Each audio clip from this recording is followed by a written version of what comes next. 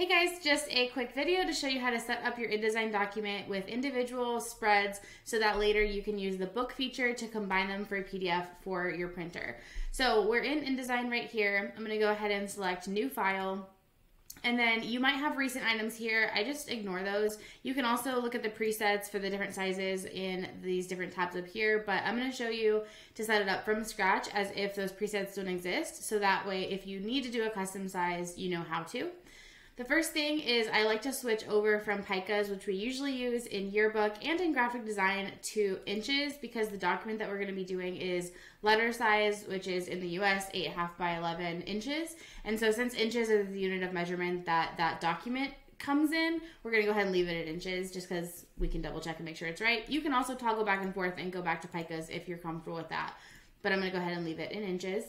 We're also going to make sure that orientation is up and down or portrait versus landscape because typically magazines are in that orientation. But if you want to switch it, when you click this, it'll automatically flip those dimensions to whatever you've told it to be without having to go and do it manually, which is kind of nice. I'm also going to put a name in here. I'm just going to call it magazine spread. Spread for right now. Um, and here's where the settings really, really matter. So the first thing is we're doing a spread. I'm going to talk about the cover and the back cover in a second, but for the actual spread, um, like an internal page, we want to make sure that it's two pages.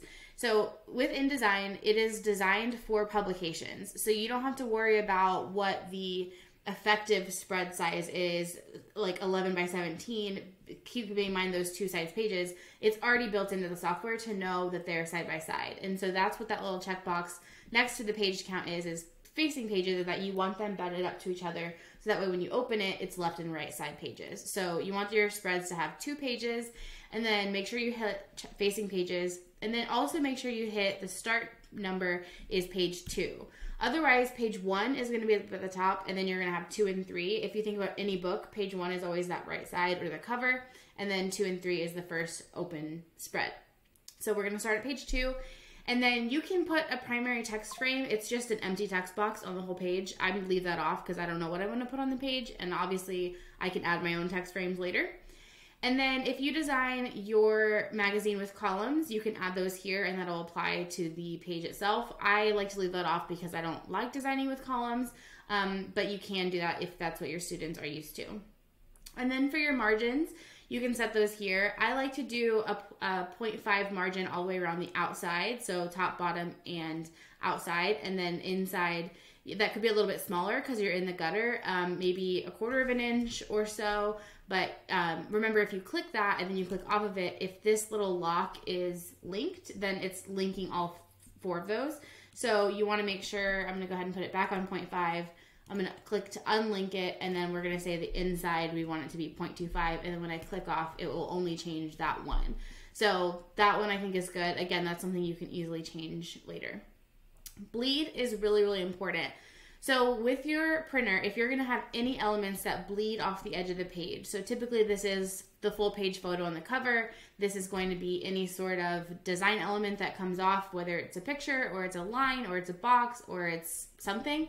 If anything is bleeding off the edge, you need to have bleed included in your document. This is on top of your final finish size. So if your final finish size is 8.5 by 11, InDesign is going to add an allowance all the way around on purpose so that way your elements can reach that bleed line. So um, most printers like this to be an eighth of an inch, which is 0.125 of an inch. And so you can click that, and I had my linked um, size there, so it changed it to all of them. You can ignore slug. That is a little bit of information at the bottom of the PDF. That is just information for the printer. It's not printed or anything. It's just like communication with the printer. And typically these days um, with commercial printing and digital printing and stuff like that, we don't need the slug area. Your printer will let you know, but typically you don't have to worry about that. You can go ahead and select preview if you want to see what it looks like behind this window, which sometimes is helpful for students as they're visualizing how their spread is coming out to make sure that they are creating the right size. But if you don't want to, you don't have to. You can just go ahead and hit create. Once you hit create, your your layout should look like this. So there's a couple of things that I want to point out about this document to make sure that you know that it's set up right. The first is the white space is going to be your paper. That's the most obvious. Once you zoom in, there'll be a black line here in the middle. That is your gutter. That's the space in between your two pages where the fold of the magazine is. The purple and the pink, those are your margins, the 0.5 around and the 0.25 in the middle, the gutter. And then the red line right here is your bleed. So that is going to be the document that or how it should look when you set up your document whenever you are applying elements, so if I'm applying a picture here, I'm just going to fill it with a random picture. Um, where's my sample photos, academics, whatever. We're going to say that I filled it with this picture, fitting, fill frame proportionally. If I want this to go all the way to the edge of the page, hold on, I have to remove that stroke because that's so ugly. Um, you want to make sure it goes all the way to that red line right there. So whenever you're doing a bleed, um, don't worry about it being in in the document uh, like size that you're creating. You create the document at its finished size, and then your settings will apply that bleed allowance. It'll apply those margins. It'll apply the fold, all of that sort of stuff. Like you don't have to worry about creating that. Um, you just have to worry about using the document settings appropriately. So if you have something that goes off in bleeds, make sure it goes to that line. And then, you know, just so you can kind of further visualize how bleed works, when you hit W on the keyboard, it will preview the image and so you can make sure that that image actually does go off, but once it's previewed, it gets rid of the bleed so you can see and make sure it's in the right spot. Okay, so then what you want to do, once you have this document created, file save, which I know it's not in the screen, but it's off to the side. Sorry about that. Um, and then once you are, you know, in your saving menu and you're navigated to the spot where you want it to go, I'm gonna go sample newspaper right here there's a drop down and it talks about your format. And so your format by default is an indesign document. The majority of the documents you work with are going to be indesign documents but we're going to save this as an indesign template because what we want to do is be able to replicate this spread over and over and over again or duplicate it replicate it um, to be used multiple times to account for all your pages and so we're going to hit save and then and the next time that I open this document, instead of it being magazine spread INDT, which is InDesign template, it's going to show up as untitled, which is means it's a brand new document and before you are able to close out of that document, you're going to have to save it somewhere. So I'm to go ahead and X out of here and open up our template. So as you can see, it says untitled. So before we go and save this as our, you know, new document that we're using, we're creating from our template, I want to make sure of a couple things. The first is the page numbers. So in the file menu, if you go to document setup, like we set up from the template, the first page number we're starting with is page number two. If you are doing a magazine, you're probably going to have between 12 and 40 something pages, 100 pages. There's, you know, the sky's the limit. And we're probably not going to have 100 pages in a magazine, but you're going to have more than just one spread, right? And so for the first one, we want it to be page two and we want it to uh, be page two and three. So we're going to hit OK. So then when you hit file, save, you are going to go and call it something that makes sense for your school newspapers. So it might be something like issue 2 underscore 2 dash 3, and that has the page number. And so then when you hit save, it's going to go and call it issue 2 2 dash 3. And then you're going to close that and you're going to open up the template one more time. It's going to be the exact same thing. And then you're going to do file save as or file save because it hasn't been saved previously. And then you're going to do issue 2. I like to just click on it. And then uh, page three, so it'd be four and five. So now that it's saved, I like to just start by saving it so I know that it's in the right place. But there's a couple of things we need to fix. The first is the page number. So up at the top, when you go File, Document Setup, instead of the start page being two, we need the start page to be four. So now the left side is going to be four and the right side is going to be five. So go ahead and save that close it, and you're going to do that again all the way through the rest of your pages. Then you need to save one for your cover and for your back cover. So there's two ways to do this. You can do it so your back cover is on the left side and your front cover is on the right side and that will typically be fine for your printer because they'll still have all the data that they need. Sometimes your printer is going to require that you have the first page be alone and the last page be alone. And if you're using the book feature, it's easier to have the first page by itself and the last page or the back cover by itself too. So instead of the template that we have here, we're going to go back into our document setup settings, file document setup, and you're going to change your number of pages to one and your start page to one for the cover.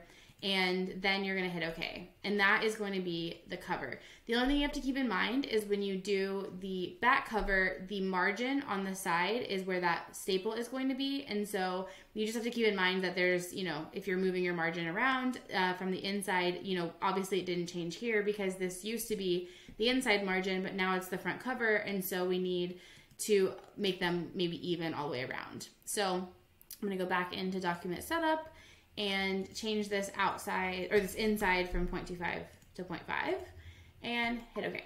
And then you can see it's all even. And now when I save this one, I'm going to go to issue two underscore, instead of two and three, we're going to say underscore one and then you hit save. This is the exact same way that you would set up your documents if you're designing pages instead of spreads.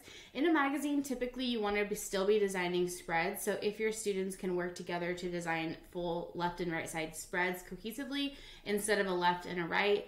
However, I know in a magazine, especially because you have limited real estate and you might have an ad on the side or whatever, I know that that's not always the case. So if you're working with individual pages, with each student, then this would be the way to set that up. You would just need to adjust your margins to reflect the gutter so they know where, you know, if their page is on the left side or the right side.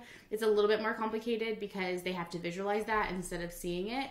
The other thing you can do with your students, which I've done sometimes as well if they have trouble visualizing it, is leave the spread as is, the left and the right page, but just mark which one is theirs and which one is not. So uh, put a big text box on that says, not your page, ad goes here, don't design here, this is your page or whatever. Um, but then whenever you go to run the book PDF, you'll need to delete that page so it's a little bit more work afterward, but sometimes it's helpful with students because they get confused about what they're actually looking at versus, you know, and a spread, they're able to see the left and right side. So now I'm just going to go through and I'm going to make all the spreads for a 12 page magazine.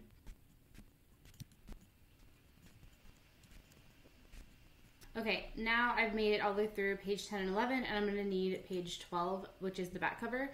So I'm actually just going to open up the first page, the cover, and I'm going to save as and save it as page 12 because it already has those settings for the single page.